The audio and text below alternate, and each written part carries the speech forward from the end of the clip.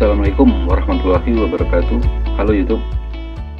Kita akan membicarakan karena pada tulisan saya pada blog saya zulkarnain.wordpress saya memuat tulisan uh, jual beli berlian hitam susah atau mudah sehingga banyak sekali uh, orang-orang bahkan sudah mungkin sudah ratusan ya yang ingin menjual berlian hitam uh, kepada saya dan kebanyakan ukurannya luar biasa besar di atas 100 karat atau puluhan karat jadi uh, pertama jadi ini menurut saya pribadi ya menjual berlian hitam itu susah. Kalau pada blog saya, penjual kesulitan menjelaskan kejernihan yang ada pada berlian hitam itu sendiri. Sedangkan kita tahu berlian yang bening itu uh, kejernihan sangat bisa dinilai. Jadi harga berlian hitam ini anggap saja semuanya sama-sama alami itu sudah pasti lebih murah daripada berlian bening. Nah, sekarang yang paling penting adalah seberapa alaminya berlian tersebut. Nah, jika kita ingin memastikan bahwa itu berlian atau bukan, itu mudah. Itu hanya ukuran urusan sejuta, dua juta, atau paling mahal 10 juta. Atau dengan 100 ribu, 200 ribu, kita bisa memastikannya ke uh, laboratorium, lab-lab batu yang murah, nggak apa-apa, karena tingkat ketepatannya sangat tinggi. Jika kita ingin memastikan bahwa berliannya asli atau bukan berlian. Itu mudah. Tetapi jika kita ingin memastikan warna hitamnya alami atau tidak, nah itu tidak sembarang laboratorium yang bisa. Jadi eh, kebanyakan berlian hitam eh, yang beredar di Indonesia atau umum ya, sebenarnya bukan Indonesia umum itu sebetulnya dari berlian putih yang seperti ini, yang sangat buruk bentuknya, atau kualitasnya, dia tidak mempunyai nilai jual yang tinggi. Jadi dia lebih baik dihitamkan melalui treatment radiasi biasanya. Nah, setelah dia hitam, maka penampakannya lebih bagus dan harganya menjadi lebih tinggi sedikit ya. Nah, permasalahannya tidak semua lab bisa karena memakai peralatan yang sangat canggih untuk menjejakinya, jejak jejaknya radiasi. Dan Setahu saya memang tidak sembarang orang seperti kita membeli alat berlian pemisah berlian sama safir, ruby segala macam semua orang bisa pakainya. Tapi karena alat itu juga uh, umumnya hanya bisa dipakai oleh engineer ya. Kalau tidak salah namanya FTIR FTIR jadi Dua, kepastian seberapa alaminya, warna hitamnya maksudnya ya. Jadi ini kenapa ya seperti saya jelaskan tadi, karena kurang bagus ya berlian putihnya, beningnya. Jadi ini contoh. Nah berlian hitam yang biasa, yang pernah saya nggak bukan penjual berlian ya, atau jual beli berlian. Saya untuk urusan berlian ini hanya untuk mewakili saja. Kalau dulu saya jual batu, saya punya berlian. Tapi saya nggak begitu ini dengan berlian. Jadi saya punya berlian hitam, saya punya berlian bening kalau dulu kan. Nah, jadi uh, berlian hitam pada yang pernah saya beli itu hanya pada kisaran satu jutaan sampai 2 jutaan per karat. Baik dia punya memo atau tidak punya memo, itu semuanya yang ada memo tidak berani menjelaskan warnaan. Kalau menjelaskan ini berlian alami berani semua, berani semua. Tapi menjelaskan warna hitamnya itu tidak berani.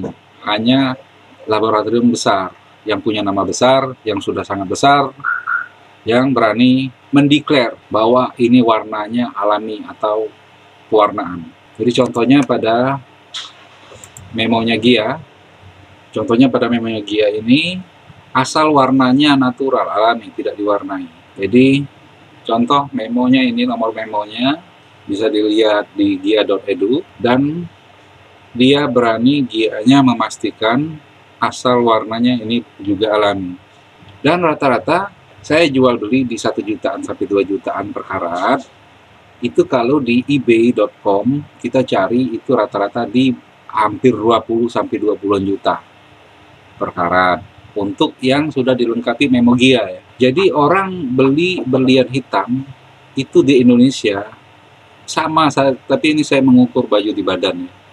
Saya hanya pengen punya aja, jangan nggak punya berlian hitam.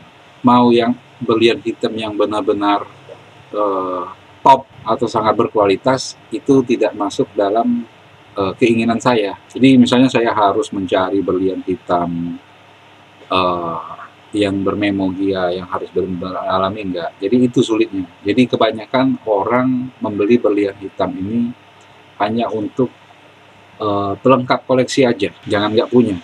Dan harganya pun termasuk relatif murah ya. Satu karat di 2 jutaan. Jadi kalau dia berlian hitam, eh, berlian putih yang sangat jelek, sangat kotor, nggak berbentuk lagi seperti berlian se seperti perhiasan, lebih cocok dijadikan uh, matanya mata mata bor untuk industri misalnya. Nah itu lebih baik dihitamkan. Dan kejernihannya ya tentu saja sulit.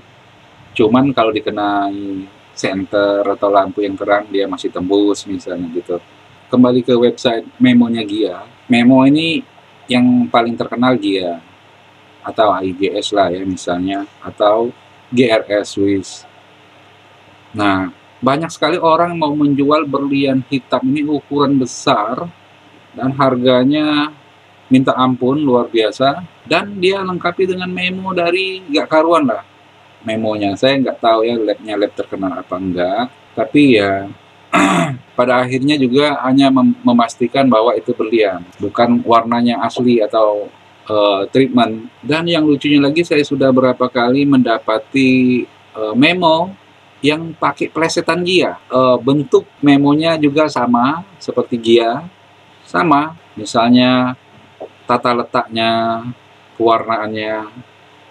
Tetapi namanya bukan Gia, tapi GIE, GIE. Nah, itu websitenya tidak ada, kan aneh ya. Kalau saya punya perusahaan atau pengen buat perusahaan laboratorium batu ya, e, batu perhiasan, saya tidak akan pakai nama untuk menyaingi memplesetkan dengan bahasa dengan singkatan GIE ya GIE kayaknya malu-maluin gitu kan. Jadi mungkin mungkin uh, itu hasil penjualan orang dari sindikat internasional. Mungkin saya nggak tahu karena kalau orang lokal uh, saya kecenderungannya berani orang lokal misalnya orang lokal mau uh, bermain psikologis dengan orang yang kurang tahu dengan website dengan memonya Gia. Dia jual berlian memo G. Kalau orang lokal rata-rata berani seperti itu karena uh, dia berharap orang nggak nggak tahu ya, berharap orang nggak tahu dan kemujuran mungkin terjadi. Kalau di sini kan saya bikin nih, saya bikin GE memonya, semuanya mirip dengan Gia tanpa website apalah terserah lah. Saya hanya bermain psikologi saja dengan orang yang ingin membeli berlian hitam atau berlian putih. Diharapkan orang itu nggak tahu. Tahu juga nggak apa-apa akhirnya. Oh seperti orang banyak jual ke saya dilengkapi dengan memo GIE Pak ini memonya agak lucu GIE bukan GIA kalau orang mau berlian yang tahu dengan GIA gimana gitu jadi rasanya nah gitu aja paling kan nggak nggak akan dibawa ke ranah hukum nggak jadi sekian saja dulu. Uh, saya bukan jual beli untuk berlian ya, apalagi berlian hitam. Jadi kesulitannya itu tadi. Uh, kalau sudah besar, kebanyakan yang jual besar ya, puluhan bahkan ratusan karat, uh, itu apalagi mahal ya. Sudah jelas mahal mau jual seperti itu. Ya, kenapa nggak dimasukkan ke dia? Dia kan paling dekat ada di Bangkok, Uh, kalau dulu saya ada agen di Thailand, orang Prancis yang biasa uh, membawa batu dari Afrika atau dari Thailand itu sendiri, lalu untuk biasa di Thailand.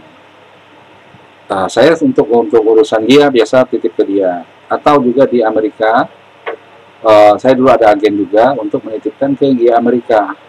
Tapi sekarang dia sudah jauh tempatnya tetap di Amerika, sudah jauh dari dia lokasinya dia di lokalnya nggak ada jadi saya tidak bisa lagi untuk uh, membuatkan memo dia kecuali berangkat sendiri ke tempat yang paling dekat yaitu di Bangkok tadi. Nah jadi kalau memang yakin dengan kealamiannya, warnanya maksud saya itu lebih baik berangkat ke Bangkok, masukkan ke Gia.